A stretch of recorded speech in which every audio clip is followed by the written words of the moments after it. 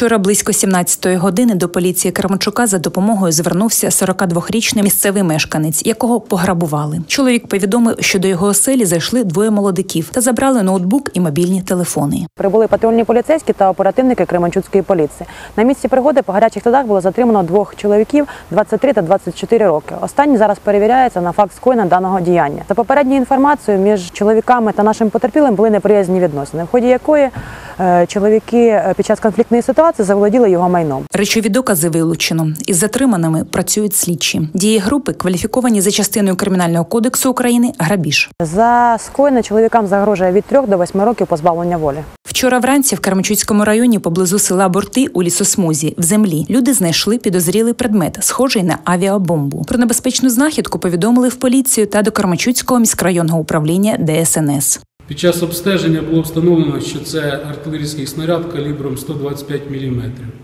На даний час на місці виявлення виставлений пост поліції для охорони даного предмету. Е, Його знищення планується на 12 травня піротехнічною групою головного управління ДНСНС Полтавської області. Аби з понеділка не стати пацієнтом медичної служби міста, крамачужан закликають утриматися наступного тижня від прогулянок парком культури і відпочинку Придніпровський. З 14 по 17 травня включно у парку будуть проводити санітарну обробку кущів, дерев і трави від кліщів. Нагадаємо, цьогоріч у Кремчуці вже зареєстровано випадок захворювання на хворобу лайма внаслідок укусу кліща. Вікторія Пальчик, Олег Зайць, Крамчицькі новини.